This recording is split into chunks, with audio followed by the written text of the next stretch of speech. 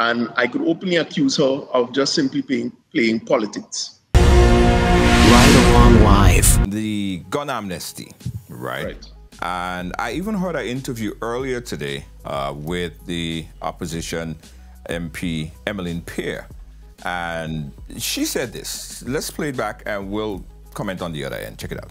Society, um, we have major concerns, I believe, as a people, but all is not lost. We believe that if the government pull this right? Pull this back and involve everyone in pulling it back, we can see some progress there. Right. So the issue for us is is not really about the amnesty particularly, right? It's a, a singular measure um, that could bear some results. Let's see what happens there. Um, as a matter of fact, I believe one gun off the street is is a success in my opinion. Now, what we are most concerned about, and I want to particularly make mention to that, in the last sitting, particularly, um, there was mention of what happens after the amnesty. So we know this is for 90 days. You turn your gun in, or you bring a gun in that you found, whatever it is, something in your possession, and you will not be required to explain where you got it, how you found it. That's the amnesty. Now, we found it rather strange that in addition to that, the government went on to make the point that after the 90 days, anyone found in possession of a firearm will not be granted bail. In other words, straight to Her Majesty's prison. Now, the MP seem to want to go down on the trend of a non genuine approach to this conversation. And I could openly accuse her of just simply playing, playing politics. That's what it is. And attempting to try to muddy what the um, intent of this particular uh, measure is.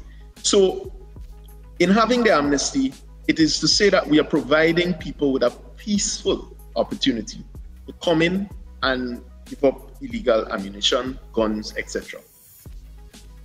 Having said that, from the 1st of May until the 90 days have elapsed, after which there are some very tough measures that will unfold as it relates to the possession of an illegal firearm, which are already in place, mind you.